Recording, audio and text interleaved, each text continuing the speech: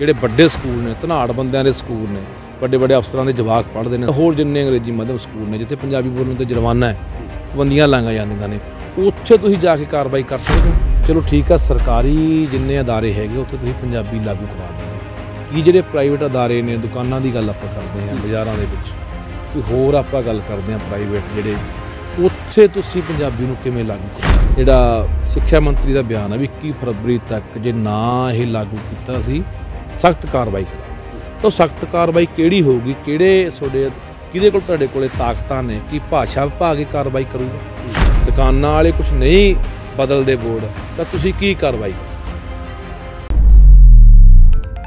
ਪੰਜਾਬ ਦੇ ਵਿੱਚ ਇੰਨੀ ਦਿਨੀ ਸਰਕਾਰੀ ਵਿਭਾਗਾਂ ਤੋਂ ਇਲਾਵਾ ਹੋਰਨਾਂ ਪ੍ਰਾਈਵੇਟ ਅਦਾਰਿਆਂ ਦੇ ਵਿੱਚ ਪੰਜਾਬੀ ਬੋਲੀ ਲਾਗੂ ਕਰਨ ਨੂੰ ਲੈ ਕੇ ਮੁੱਖ ਮੰਤਰੀ ਦਾ ਬਿਆਨ ਚਰਚਾ ਦਾ ਕੇਂਦਰ ਬਿੰਦੂ ਬਣਿਆ ਹੋਇਆ ਹੈ।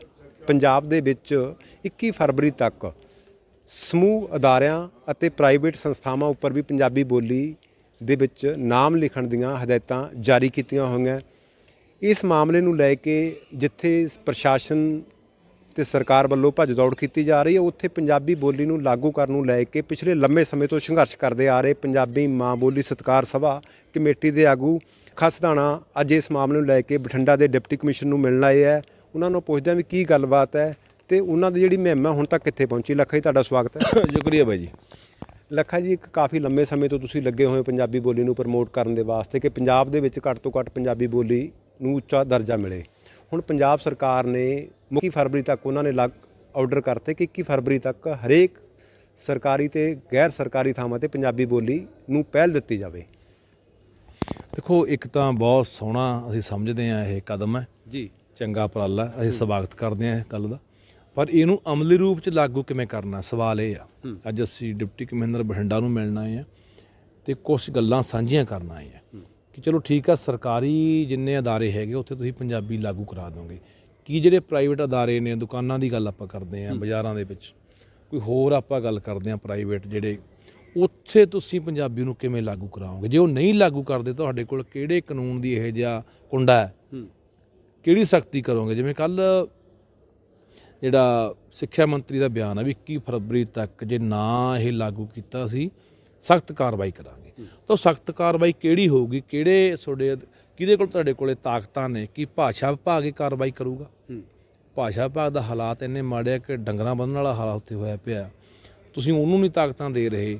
ਤੇ ਉਹ ਕਾਰਵਾਈ ਅੱਗੇ ਕਿਵੇਂ ਕਰਨਗੇ? ਕੀ ਜਿਹੜੇ ਦਾ ਸਿੱਖਿਆ ਅਫਸਰ ਇੱਕ ਸਕੂਲ 'ਚ ਜਾ ਕੇ ਜਿਹੜੇ ਵੱਡੇ ਸਕੂਲ ਨੇ ਧਨਾੜ ਬੰਦਿਆਂ ਦੇ ਸਕੂਲ ਨੇ ਵੱਡੇ ਵੱਡੇ ਅਫਸਰਾਂ ਦੇ ਜਵਾਕ ਪੜ੍ਹਦੇ ਨੇ ਹੋਰ ਜਿੰਨੇ ਅੰਗਰੇਜ਼ੀ ਮਾਧਿਅਮ ਸਕੂਲ ਨੇ ਜਿੱਥੇ ਪੰਜਾਬੀ ਬੋਲਣ ਤੇ ਜੁਰਮਾਨਾ ਹੈ ਪਾਬੰਦੀਆਂ ਲਾਈਆਂ ਜਾਂਦੀਆਂ ਨੇ ਉੱਥੇ ਤੁਸੀਂ ਜਾ ਕੇ ਕਾਰਵਾਈ ਕਰ ਸਕਦੇ ਹੋ। ਸਿੱਖਿਆ ਅਫਸਰ ਦੀ ਜ਼ਰੂਰਤ ਨਹੀਂ ਵੀ ਅੰਦਰ ਵੜ ਕੇ ਉਹਨਾਂ ਨੂੰ ਪੁੱਛ ਲੇ ਵੀ ਮੈਂ ਭਾਈ ਅੰਦਰ ਕਲਾਸ ਚੈੱਕ ਕਰਨਾ ਹੈ ਕਰਾ ਸਕਦੇ ਹੋ। ਤਾਂ ਇਹ ਜਿਹੜੇ ਸਵਾਲ ਨੇ ਬਹੁਤ ਵੱਡਾ ਦੇਖੋ ਅਸੀਂ ਕਹਿੰਦੇ ਆ ਕਿ ਇਹ ਸਰਕਾਰ ਦੀ ਪਹਿਲ ਕਦਮੀ ਹੈ ਪਹਿਲੀਆਂ ਸਰਕਾਰਾਂ ਨੇ ਵੀ ਬਥੇਰੇ ਐਲਾਨ ਕੀਤੇ ਪਰ ਐਲਾਨ ਹੀ ਰਹਿ ਗਏ। ਅੱਗੇ ਅਮਲੀ ਰੂਪ ਚ ਲਾਗੂ ਨਹੀਂ ਹੋਏ।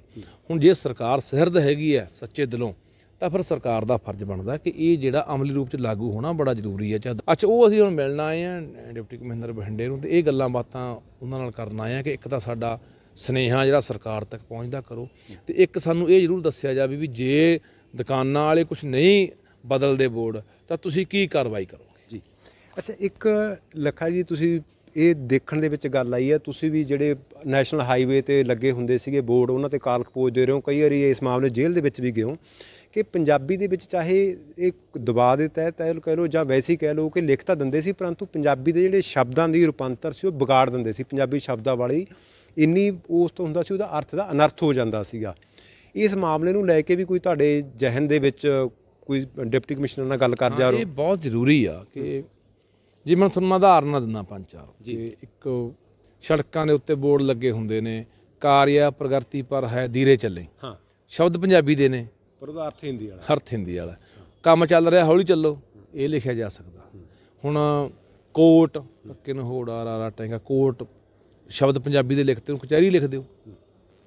ਗੇਟ ਉਹਨੂੰ ਦਰਵਾਜ਼ਾ ਲਿਖ ਸਕਦੇ ਆ। ਰੋਡ ਨੂੰ ਸੜਕ ਲਿਖ ਸਕਦੇ ਆ।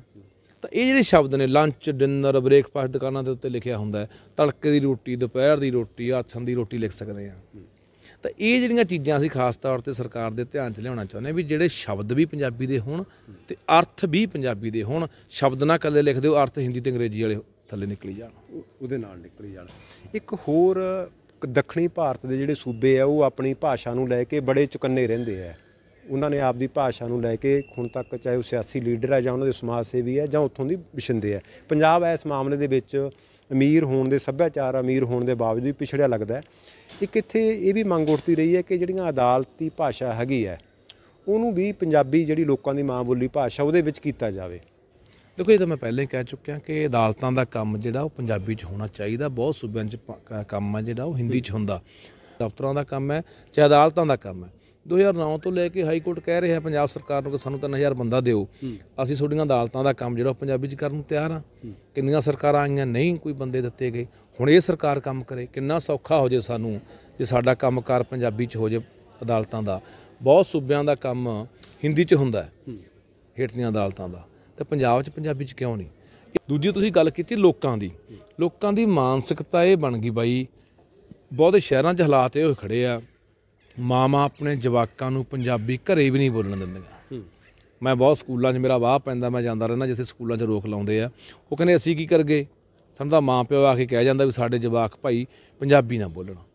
ਐਡੀ ਸਾਡੇ ਦਿਮਾਗ ਦੇ ਵਿੱਚ ਇਹ ਗੱਲ ਬਾੜ ਦਿੱਤੀ ਗਈ ਵੀ ਪੰਜਾਬੀ ਅਨਪੜਾਂ ਦੀ ਪਿੰਡੂਆਂ ਦੀ ਗਵਾਰਾਂ ਦੀ ਬੋਲੀ ਆ। ਸਾਡੀ ਬੋਲੀ ਵਰਗੀ ਕੋਈ ਅਮੀਰ ਬੋਲੀ ਨਹੀਂ ਹੈਗੀ। ਇੰਨੀ ਤਹਿਜ਼ੀਬ ਤੇ ਇਹੋ ਜਿਹਾ ਲਹਿਜਾ ਇਸ ਬੋਲੀ ਦਾ। ਪਰ ਸਾਡੇ ਲੋਕਾਂ ਦੀ ਮਾਨਸਿਕਤਾ ਬਦਲਣੀ ਪੈਣੀ ਆ। ਹਰ ਬੰਦੇ ਦਾ, ਹਰ ਪੰਜਾਬੀ ਦਾ ਇਹ ਫਰਜ਼ ਬਣਦਾ। ਕਿ ਉਹ ਸਕੂਲਾਂ ਜਾ ਕੇ ਆਪਣੇ ਜਵਾਕਾਂ ਮਗਰ ਮਗਰ ਦੇਖੇ। ਸਕੂਲ ਦੇ ਵਿੱਚ ਪੁੱਛੇ ਵੀ ਕੀ ਸਾਡੇ ਜਵਾਕ ਨੂੰ ਪੰਜਾਬੀ ਬੋਲਣ ਤੇ ਕੋਈ ਪਾਬੰਦੀ, ਕੋਈ ਜੁਰਮਾਨਾ ਤਾਂ ਨਹੀਂ ਲਾ ਰਹੇ। ਹੁਣ ਸਭ ਤੋਂ ਵੱਡੀ ਗੱਲ ਜਿਹੜੀ ਸਰਕਾਰ ਦੇ ਮੈਂ ਧਿਆਨ 'ਚ ਲਿਆਉਣਾ ਚਾਹੁੰਦਾ ਕਿ ਸਕੂਲਾਂ ਵਾਲੇ ਕਿੱਡਾ ਸਾਡੇ ਨਾਲ ਮਤਲਬ ਕਿ ਸਾਡਾ ਇਹ ਜੜਾਂ ਵੱਢ ਰਹੇ ਨੇ ਸਾਡੀ ਬੋਲੀ ਦੀਆਂ, ਸਾਡੇ ਵਿਰਸੇ ਦੀਆਂ। ਇਹ ਪਹਾੜੇ ਆ ਜਿਹੜੇ ਆਪਾਂ ਸਾਰਿਆਂ ਨੇ ਪੜ੍ਹੇ ਆ। ਇੱਕ ਦੂਣੀ ਦੂਣੀ ਦੋ ਦੂਣੀ ਚਾਰ। ਆਪਾਂ ਨੂੰ ਸਾਰਿਆਂ ਨੂੰ ਪਤਾ ਹੈ 99 69 79 49 ਕਿੰਨੇ ਹੁੰਦੇ ਆ। ਜਵਾਕਾਂ ਨੂੰ ਪਤਾ ਹੀ ਨਹੀਂ। ਪੰਜਾਬੀ ਦੇ ਪਹਾੜੇ ਬਿਲਕੁਲ ਹੀ ਅੰਗਰੇਜ਼ੀ ਮਧਿਅਮ ਸਕੂਲਾਂ 'ਚੋਂ ਖਤਮ ਕਰ ਦਿੱਤੇ ਗਏ। ਜਵਾਕਾਂ ਨੂੰ ਵਿਆਹ ਕਰਨਾ ਨਹੀਂ ਪਤਾ ਔਂਕੜ ਦਲੈਂਕੜ ਬਿਹਾਰੀਆਂ ਸਿਆਰੀਆਂ ਬਿਲਕੁਲ ਹੀ ਖਾ ਗਏ। ਉਨੀ ਕੁ ਪੰਜਾਬੀ ਪੜਾਉਂਦੇ ਵੀ 35 ਨੰਬਰ ਲੈ ਕੇ ਪਾਸ ਹੋ ਜਾਓ। ਇਹ ਇਹ ਬਹੁਤ ਜ਼ਰੂਰੀ ਆ, ਸਕੂਲਾਂ ਦੇ ਉੱਤੇ ਧਿਆਨ ਦੇਣ ਦੀ ਬਹੁਤ ਲੋੜ ਹੈ। ਖਾਸ ਤੌਰ ਤੇ ਜੇ ਸਰਕਾਰਾਂ ਜਿੰਨਾ ਕੁ ਧਿਆਨ ਦਿੰਦੀਆਂ, ਠੀਕ ਹੈ, ਪਰ ਮਾਪਿਆਂ ਨੂੰ ਬਹੁਤ ਲੋੜ ਹੈ। ਅਸੀਂ ਨਹੀਂ ਕਹਿੰਦੇ ਕਿ ਕੋਈ ਹੋਰ ਜ਼ਬਾਨ ਸਿੱਖੋ ਨਾ। ਸਿੱਖੋ ਬਈ, ਅੰਗਰੇਜ਼ੀ ਵੀ ਸਿਖਾਓ, ਹਿੰਦੀ ਵੀ ਸਿਖਾਓ, ਜੋ ਮਰਜ਼ੀ ਸਿਖਾਓ, ਪਰ ਆਪਣੀ ਮਾਂ ਬੋਲੀ ਨੂੰ ਐ ਘਰੋਂ ਨਾ ਕੱਢੋ। ਮੈਂ ਬਹੁਤ ਵਾਰੀ ਇਹ ਗੱਲ ਤੇ ਲੰਮੇ ਸਮੇਂ ਤੋਂ ਜ਼ੋਰ ਦਿੰਦਾ ਆ ਰਿਹਾ ਕਿ ਸਾਡੀ ਬੋਲੀ ਨਾਲ ਸਾਡੀ ਪਛਾਣ ਜੁੜੀ ਹੈ, ਸਾਡੀ ਹੋਂਦ ਜੁੜੀ ਹੈ। ਬੋਲੀ ਮਰ ਗਈ ਸਾਡੇ ਵਜੂਦ ਨੇ ਖਤਮ ਹੋ ਜਾਣਾ।